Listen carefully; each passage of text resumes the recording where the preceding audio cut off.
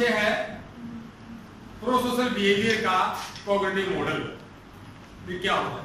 मैंने वो थोड़ा इसके बारे में एक्सप्लेन करूँगा आपको। सामाजिक उन्मुख व्यवहार का संज्ञानात्मक मॉडल। ये संज्ञानात्मक जो कॉग्निटिव वर्ड है इसका मतलब पता ना आपको?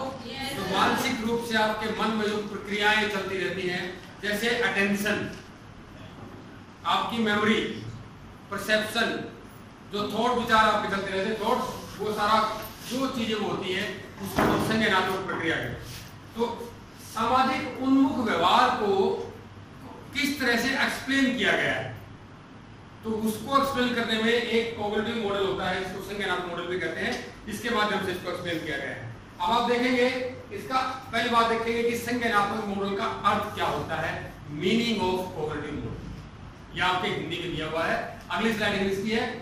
संज्ञानात्मक मॉडल एक सैद्धांतिक या वैचारिक ढांचा होता है। विचारों का एक ढांचा।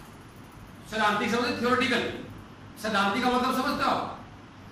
कैसा? जिस थियोरटिकल जो मन मस्तिष्क में हो थियोरटिकल ढांचा होता है, जो संज्ञानात्मक विकल्पों की, यानी कि जो आपके विचारधारा चल रही है उसमें कुछ विकल्प आते हैं। कुछ चॉइसेस होती है। विकल्प समझते हो ना? ये चीज़ सिलेक्ट करना, ये चीज़ सिलेक्ट करना, उन चॉइसों के संदर्भ में समर्थित सामाजिक व्यवहार को बताता है। अब इसका मैं एक एक लाइन में सब बता रहा पाठ बताता हूँ। इसका ये बता रहा है कि जो संज्ञात्मक मॉडल है वो प्रोसोशल बिहेवियर को, सामाजिक पुनर्व्यवहार को क्या बताता है कि हमारे मस्तिष्क में कुछ विचारधाराएँ चलती हैं। उन विचारधाराओं के आधार पर हम कुछ विकल्प, कुछ चॉइसेस बनाते हैं। और उन चॉइसेस के बेस पर हम ये फैसला करते हैं कि हमें कोई सामाजिक प्रमुख व्यवहार करना है या नहीं करना है। आप समझे? ये बात हो किसी भी किसी की मदद करने से पहले व्यक्ति को विभिन्न प्रकार के अनियमित अव्यवस्थित विचारों के बीच उलझना पड़ता है। आप देखेंगे, आपके सामने कोई व्यक्ति है जिसकी आपको मदद करनी है। जब मदद करने से पहले आप, हमारे दिमाग में बहुत सारे विचार उसके प्रति आते हैं। आते कि नहीं आते हैं? समटाइम्स बहुत सारे थॉट प्रोसेस आते रहते हैं। और इन विचारों के मंथन के आधार पर सहायता देने के बाद निर्णय लिया। जाता है ये है कॉग्निटिव मॉडल आप देखेंगे इस, इसी इस बात को बताता हूँ आपको। मान लीजिए किसी व्यक्ति को मदद की ज़रूरत है। हेल्प की ज़रूरत है, किसी प्रकार की हेल्प की ज़रूरत उसकी हेल्प करने से आप है सामने हेल्प देने वाले, मदद करने वाले आप आते हैं उनके सामने। तो आप जब उसको मदद करने से पहले आपके मन में कई सारे विचार आते हैं। थॉट प्रोसेस आपके चलता है कि मदद करनी चाहिए या नहीं चाहिए। मेरा रिश्तेदार है या नहीं है, या अगर मदद मैंने कर दी, क्या पुलिस मुझे आराम नहीं करेगी इस टाइप से बहुत सारे थॉट प्रोसेस आपके मन में ये चलते रहते हैं और उसके बाद एक मंथन होता है। मंथन समझते हैं आप? अपने अपने हरियाणा में तो है वो दूध पिलोना दूध पिलोना समझते हो ना? तो वो क्या है, एक तरह से मंथन है। मथना होता है, दूध को मत करते हैं उसको। जमाया जो दूध होता है, उसके मक्खन निकलता है। वो परिणाम होता है उसका। इसी प्रकार से इन विचारों के मंथन के आधार पर फिर आप फैसला करते हैं कि हमें सहायता करनी है या नहीं करनी। ये इसका अर्थ था। आगे जो एग्जाम्पल्स आएँगे, जो इसके दो स्लाइड्स आएँगी, उसका आप समझ में आ जाएगा what actually means coordinate model किसी को रिक्वायरमेंट है इंग्लिश की नो ये देखो, ये आपके मस्तिष्क में किस तरह से विचारों की एक प्रक्रिया चलती रहती है। और देखो, इसी माय रिलेटिव किसी की मदद करने के मेरे रिश्तेदार है? व्हाई शुड आई हेल्प मैं मदद क्यों करूँ? आगे देखो if I help I will face harassment by police अगर मैं मदद करूँगा तो पुलिस मुझे परेशान कर सकती है। What should have been attentive भाई, ध्यान रखना चाहिए था आपको। इस टाइप से बहुत सारे विचारधारा आपके मन में चलती रहती है और जिसके कारण से आप एक फैसला लेते हो। इस विचारधारा के आधार पर यू डिसाइड आप एक फैसला लेते हो, वो जो फैसला लिया उस विचारधारा के मंथन के आधार पर आपने लिया कि वेदर टू हेल्प और डोंट टू हेल्प ये चीज़ होती है ठीक है? दिखाया किस तरह से विचारधारा है? इसको आप दोबारा देख सकते हो एक बार फिर। देखिए प्रोसेस चल रहा है ना? विचार कोई आया, कोई गया, कोई नया, देखो इसमें कुछ लिखा हुआ है। क्लोथ कपड़े, किसी आधार पर मतलब something some thoughts will always keep on coming your mind किसी व्यक्ति को देखकर जब हम उसकी मदद करना चाहते हैं तो इस टाइप से विचारधारा हमारे यहाँ चलती रहती है। ठीक है? नेक्स्ट अब आया संज्ञानात्मक मॉडल एक्चुअल के पहले मैंने अर्थ समझाया था उसका। इसको पहले आप समझो। ये इंपॉर्टेंट है। बाद में लिख लेना आप। आपको इसका लिंक भी मिल जाएगा। ये जो मॉडल है संज्ञानात्मक मॉडल बीव लेटाने और जॉन डार्ले दो साइकोलॉजिस्ट थे उन्होंने इसका प्रतिपादन किया था। उन्होंने इस मॉडल को बताया था कि किस प्रकार से प्रोसोशल बिहेवियर होता है। वह क्या था? 1964 में उन्नीस में एक नर्स थी जेनोविस किटी किटी जेनोविस बताया था मैंने आपको एग्ज़ाम्पल उसका मर्डर कर दिया गया था। अड़तीस लोगों ने उसको देखा था। उसके बाद जो साइकोलॉजिस्ट थे दोनों इन्होंने कहा कि भाई ऐसा क्या बात थी उनके अंदर अड़तीस लोग देखा वो बचाने कोई भी नहीं आया पुलिस कोई फ़ोन नहीं क्लियर तो उस बेस पर ऐसे हमारे मन में हमारे शरीर व्यक्ति की जो मानसिक स्थिति है ऐसी क्या थी? क्यों उन्होंने ऐसा व्यवहार किया? उसको समझने के लिए उन्होंने बहुत सारे रिसर्च की अध्ययन किया और उस अध्ययन के आधार पर उन्होंने कुछ परिणाम निकाले और उस परिणाम को उन्होंने सबसे पहले कहा बाई स्टैंडर्ड इफ़ेक्ट यानी दर्शक प्रभाव। क्या कहा उन्होंने उसको? बाई स्टैंडर्ड इफ़ेक्ट या दर्शक प्रभाव। दर्शक प्रभाव क्या होता है? अगर आपको मदद की ज़रूरत है, अगर आपको मदद की ज़रूरत है और मदद देने वाले जितने ज़्यादा बढ़ते चले जाएँगे, आपको मदद लेने की जो संभावना है, मिलने की संभावना वो कम होती चली जाएगी। ये दर्शक प्रभाव वैसे तो हमें बड़ा अजीब सा लगता है। लगता है ना? मैंने आपको शायद दोनों क्लास में वीडियो क्लिप दिखाई भी थी। किस प्रकार से जितने ज़्यादा लोग होते हैं इकट्ठे एक जगह पर उतने ही कम मदद करते हैं और इस कंसेप्ट को उन्होंने दर्शक प्रभाव कहा और कम मदद क्यों करते हैं? उसके पीछे उन्होंने कारण बताया कि डिफ्यूजन ऑफ़ रिस्पॉन्सिबिलिटी यानी ज़िम्मेदारी का विसरण हो जाता है। कैसे? कि ज़िम्मेदारी लोग कम लेते हैं, वो सोचते हैं कि उसने मदद कर दी या वो कर देगा, वो फ़ोन कर देगा, वो एंबुलेंस को बुला लेगा, इसकी मदद वो कर देगा। या अगला घर उसको कोई मांग ले भिखारी आप रोटी मांगने आ गया। और आपको नहीं है या आप नहीं देना चाहते हैं सोचते हैं कि मुझे क्या दुख तो पचास सौ घर पड़े कोई ना कोई दे ही देगा। ये है डिविजन ऑफ़ रिस्पॉन्सिबिलिटी और इसी के कारण से उत्पन्न होता है एक प्रभाव जिसे दर्शक प्रभाव कहा गया है। अब देखो ये बात यहाँ तक बात समझ आ गई आपको? ये साफ़ साफ़ लिखा हुआ इसमें इन्होंने प्रस्तावित किया था ये बात अभी अब बताता है कि दर्शक प्रभाव क्यों लोग मदद नहीं करते?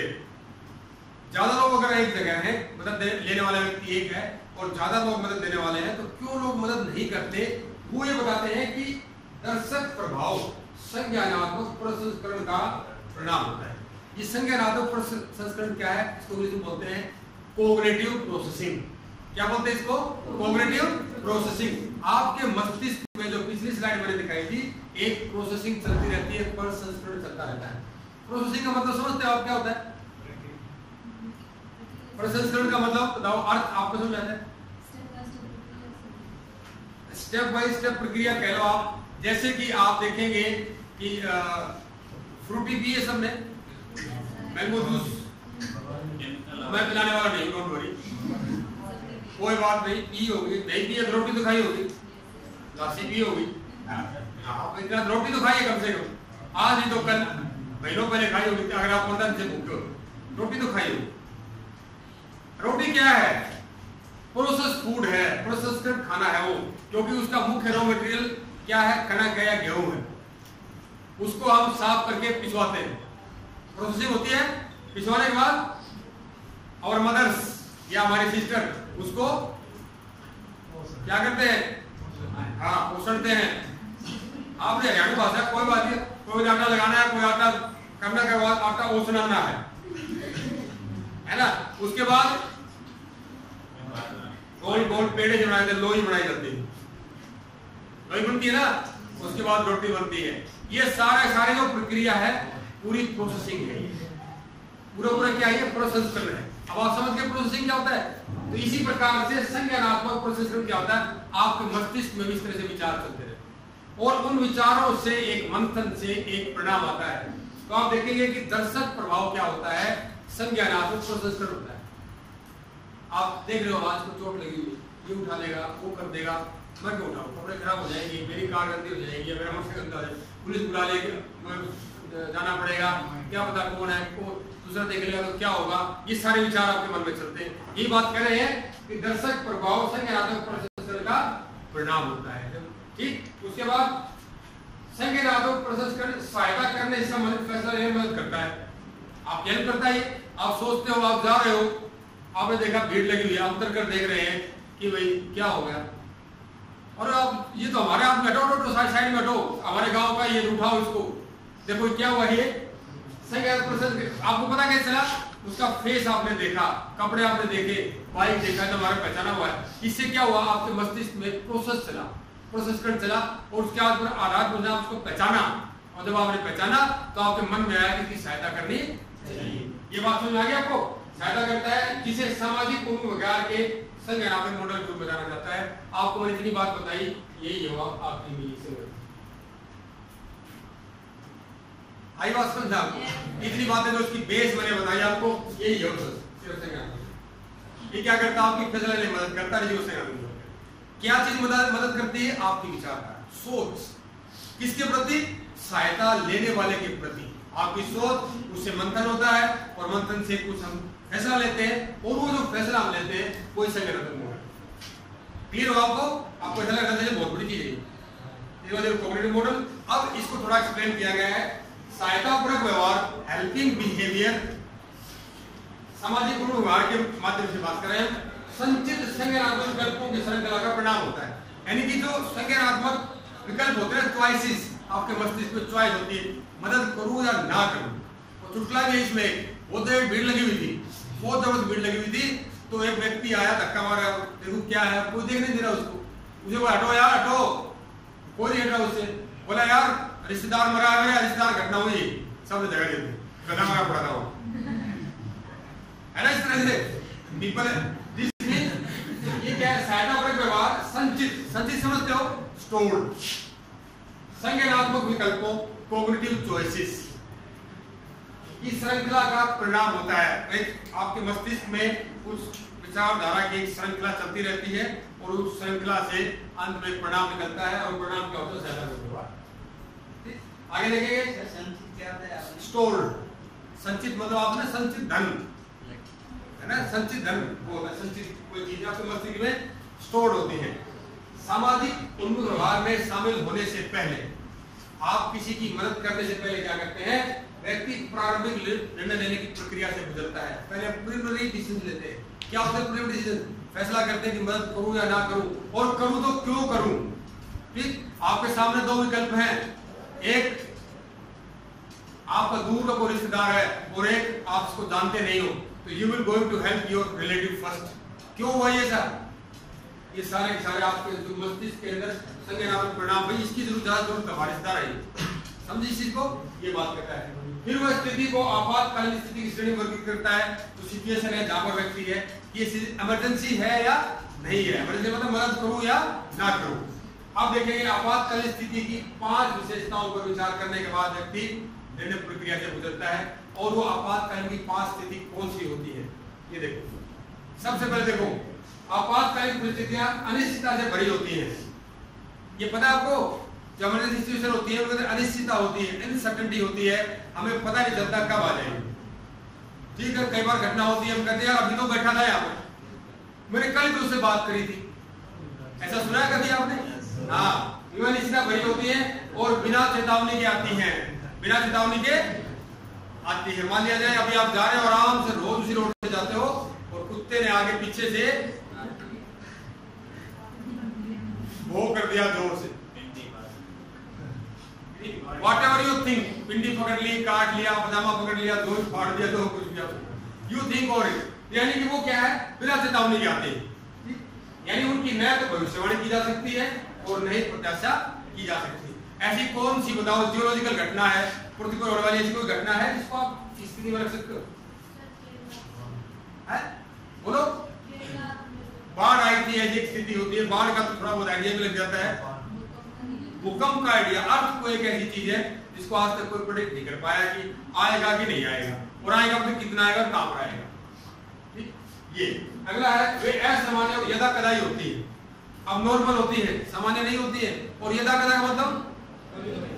कभी कभी कभी ज़्यादा कभी कभी रेयरली रेयरली होती है। ठीक? एक बार भूकंप आ गया दस साल बाद आएगा या अगले दिन आ जाएगा। नो वन नोस नेक्स्ट है, हर आपात स्थिति की स्थिति में मांगे विशिष्ट होती है। यानी कि जो भी आप हर रोज अलग अलग स्थितियाँ देखते हो, उनकी जो डिमांड है, उनकी रिक्वायरमेंट है, सारी अलग अलग होती है। ये समझ रहे हो रिक्वायरमेंट का डिमांड इसलिए हर स्थिति से निपटने के लिए व्यवहारिक कार्यवाही भी अलग अलग होती है। ये पॉइंट समझ आया कि नहीं आपको? बताओ। ये है, जैसे एक स्थिति है, एक सिचुएशन है आपने, आपके घर पर कोई मेहमान आ गया नौ बजे रात को। आप खाना खा के आराम से बैठे थे, कोई मेहमान आ गया अब क्या होगा we to prepare food again या बचा हुआ उसको देना किसी भी तरह से। अरेंजमेंट करना खाने का ठीक है? सबसे ज़्यादा कष्ट होगा लड़कियों को। क्योंकि they will be asked to prepare food लड़कियों को कुछ नहीं कहा जाएगा चाहे इसको पकड़ाने में इतना ज़्यादा कहा जाता है? ये देखो, एक स्थिति आ गई। उस स्थिति की जो रिक्वायरमेंट है, उस समय जो हमें काम करना है, उस स्थिति से निपटने के लिए अलग अलग रिक्वायरमेंट है ठीक है? अगली स्थिति आप देखेंगे। आप सुबह उठ रहे हैं, उठते ही सिर में दर्द है आपके। रात में लेट तक मोबाइल में गेम खेलते रहे अब देखो, ये अलग स्थिति है। इसमें अलग आपको व्यवहार करना है। बात में और जो मेहमान वाली बात बताई थी, उसमें अलग आपको व्यवहार करना है। ये तो बात इसमें है क्या है। हर स्थिति अलग होती है। उसकी रिक्वायरमेंट्स अलग होती है। अगर हर स्थिति अलग होती है रिक्वायरमेंट अलग होती है तो उससे निपटने के लिए भी व्यवहार जो है अलग अलग किया जाता है। आगे देखिए, आपातकालीन परिस्थितियाँ संभावित खतरों से परिपूर्ण होती हैं, तथा नुकसान भी कर सकती है। जो आपातकालीन स्थिति आती है इमरजेंसी सिचुएशन आती है, उनके अंदर पूर्ण रूप से खतरे भरे होते हैं। खतरे होते कि नहीं? ये नहीं होते। आप आ रहे हो और आई कार्ड गले में नहीं है। और सामने से प्रिंसिपल सर आ गए एकदम से। खतरा सा भरा है कि नहीं भरा है? आपातकालीन स्थिति आपके लिए। आपका जवाब नहीं हाँ ना करूँ क्या? वो ऐसी स्थिति। खतरे से भरी होती है। आपातकालीन और नुकसान भी कर सकती है। नुकसान भी कर सकती है ना? ऐसे ऐसी चिट्ठी आ सकती है घर पे आगे देखो। अब इमरजेंसी सिचुएशंस में तत्काल प्रतिक्रिया की आवश्यकता होती है। तत्काल प्रतिक्रिया में आपको तुरंत रिस्पॉन्स करना है रिएक्ट करना है। आप यहाँ खड़े हो सर आगे कार नहीं है यू जंप आउट भागो। सेव योर सेल्फ इसी तरह से। या फिर व्हेन यू आर इन आप खेत में हो और आराम से वो नरमा वाला का, काम आजकल चल रहा है तो जो आप काम कर रहे हो और अब आपने देखा एक चलो आपने वो एक बंसटी उखाड़ ली। बंसटी बोलते ना? डर के मारे तो उखड़ जाएगी भाई। जब वो खून करता हुआ सामने जाएगा तो तरफ़ तो एक वो क्या तुम बड़ा पेट उखाड़ लोगे? या समथिंग यू लो और कोई जूता निकालोगे। अब आप एक ध्यान दे, उधर उधर से और आ गया। ठीक है? दो पर निपट चिल्लाना, उधर से और आ गया। देन नर्मा जाए भाड़ में। नर्मा जाए भाड़ में, भाग लो पहले। यानी इमीडिएट रिएक्शन तत्काल प्रतिक्रिया की आवश्यकता बात समझ आ गया आपको चलो नेक्स्ट अब आप देखते हैं, ये जो पाँच स्थितियाँ थी, ये थी आपकी आपातकालीन स्थितियों को किस तरह से वर्गीकृत करते हैं।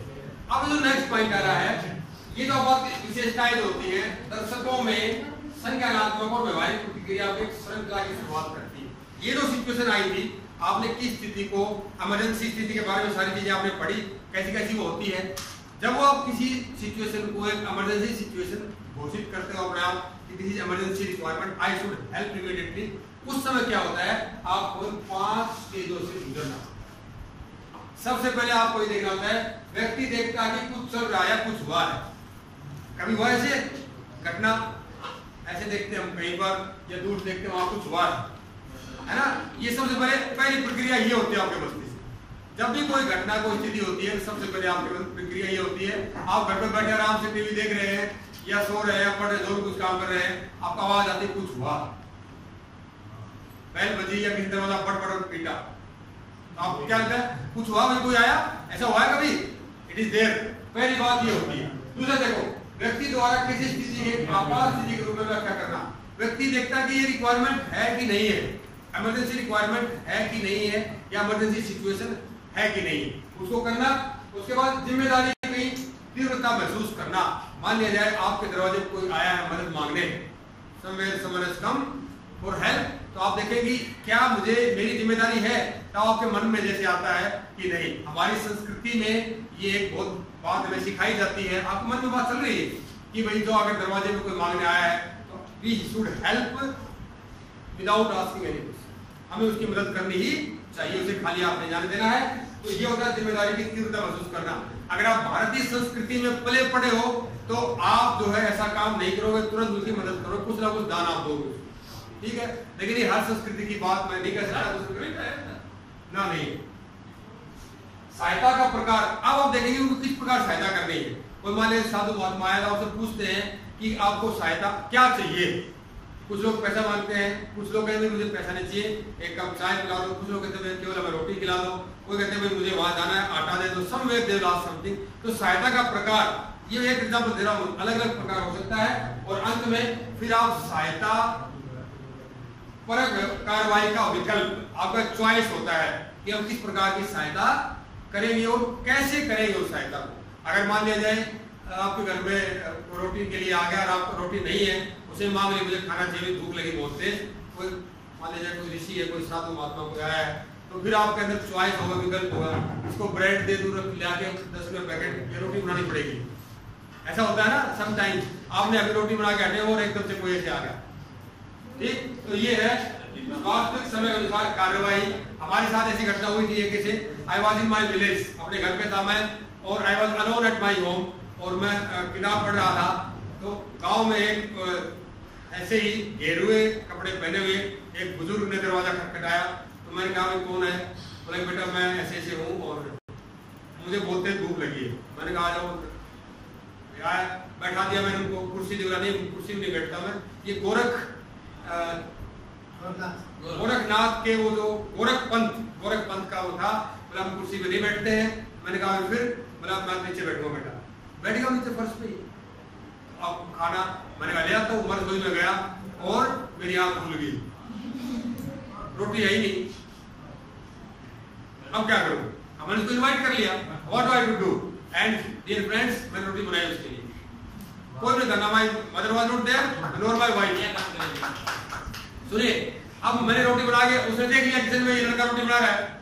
मैंने बना के इसको तीन रोटी से खाई, सब्ज़ी रखी हुई थी उसने लस्सी ली, और उसने कहा कि बेटा मैंने आज तक बड़ा मुश्किल से ऐसा कोई व्यक्ति मिलता है जो रोटी खुद बना खिलाता है। आज आपको मैं एक चीज़ दिखाता हूँ। First time I seen in my life. एक मुखी रुद्राक्ष। देखा किसी ने? दो मुखी, तीन मुखी, चार मुखी पंचमुखी रुद्राक्ष आपको मिल जाएगा। एक मुखी रुद्राक्ष जल्दी से नहीं मिलता है उसने ये लो, हाथ में रख के देखो इसको। मैंने अच्छे से इसको देखा, भाई, मैंने कहा, बाबा, ये तो बताओ कि इसका एक मुखी रुद्राक्ष कहते क्यों है? प्रश्नों की श्रृंखला मेरे मन में चल रही थी। एक मुखी होता क्या है? उसने दिखाया कि उसके ऊपर एक चेहरा फेस जैसा दिखाई देता है, गाय जैसा चेहरा बना एक होता है उसको ये बहुत ही रेयर केस में आपको मिलता है और ये है मेरे पास, आप इसको देखो। क्योंकि आपने खुद रोटी बना के मुझे खिलाई है, इसलिए मैं आपको इसके दर्शन करा रहा हूँ। तो उसने कहा कि, मैंने कहा, ठीक है, आपका बहुत धन्यवाद। मैंने मांगा नहीं उसे मुझे दे दे। क्योंकि मुझे देखो दो चीज़ में अपने वैल्यू नहीं है, अपने काम के उसको रखने कोई फ़ायदा नहीं होता। मैं क्या करता लेके उठा के आई डोंट हैव उसकी वैल्यू का मुझे नहीं पता है। तो दिस वे उस दिन, जैसे मैं बताया ना आपको कि कार्रवाई का विकल्प, ये मुझे अपनी घटना कई बार याद रहती है। इसलिए कई बार अब मैं सोचता हूँ किसी को हाँ पहले देख के आता हूँ कुछ है कि नहीं। हो आपको ये? ये परिस्थिति पर व्यवहार यानी प्रोसोशल बिहेवियर ठीक है? अब आप देखो इसमें ये आखिरी स्लाइड है इसमें। इसमें क्या है दर्शक प्रभाव। संज्ञानात्मक रूप से पाँच चरणों से गुजरता है। कौन से पाँच चरण? जो हमने डिस्कस किए कुछ चल रहा है। स्थिति को वर्गीकृत करना। सहायता कैसे करनी है? और सहायता करने का विकल्प। यदि आंतरिक प्रतिक्रिया इन पाँचों स्टेप में आप मस्तिष्क में सारी घटनाएँ चलती हैं और इन पाँचों में अगर किसी भी लेवल पर हर लेवल पर आपको अगर यस यस होता है आपको चल रहा है मुझे देखना है ये स्थिति है इस तरह से उसकी मदद करनी है और सभी में अगर आप यस करते हैं तो आप सहायता पूर्वक व्यवहार करेंगे और अगर किसी भी स्टेप में एक बार भी आपके मन में नो आ जाता है तो सहायता पर व्यवहार ठीक है? अब आप इसको देखेंगे एक मैंने उगड़ाया हुआ है। ये स्लाइड देखो आप। ये पाँच स्टेप है।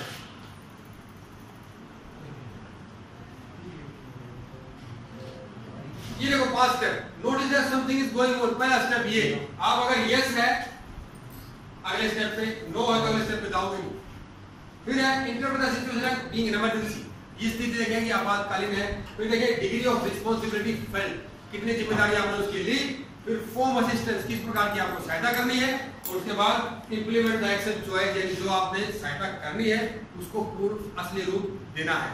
तो अगर इन सभी स्थितियों के बीच में अगर आपका ये शेष आता है तो आप हेल्पिंग बिहेवियर करोगे, और किसी भी स्थिति में कहीं पर भी नो आ गया तो कोई हेल्पिंग बिहेवियर सहायता पर व्यवहार नहीं करें चाहे चारों यस है और यहाँ नो तो भी आपका सहायता पर व्यवहार नहीं होगा। And this is your cognitive model of prosocial ठीक है? इसको दोबारा एक बार देख, दोबारा देखो नोट कर लो। बैक करो। ये लो। तो आप इसको देख सकते हैं किस तरह से। आप नोट कर लेना। यही पर कहीं जाएगी। और ये दिया था two references from which I taken इस तरह से मैंने इसको लिया। अब आप बता सकते हैं भाई, कोई प्रश्न आपका इसके मन में? इससे संबंधित क्वेश्चन एनी एक्सप्लेनेशन कोई भी सहायता पर विभाग के कोऑर्डिनेट मॉडल में। मैंने बताया मीनिंग डेफिनेशन डॉर्ली और लेटाने ने इसको एक्सप्लेन किया था किटी जिनोविस नर्स थी, उसके मर्डर के बाद रिसर्च की उन्होंने and they found out something new phenomena that is known as bystander effect bystander effects के बाद क्यों हुआ? That was due to diffusion responsibility and something cognitive जो मॉडल है, जो हमारा हेल्पिंग बिहेवियर है या prosocial behaviour is purely based on cognitive processing and behaviour इसके बाद पाँच स्थिति हमने बताई एंड देयर फाइव स्टेप्स जो आपको किस प्रकार से फैसला करते हैं कि व्यक्ति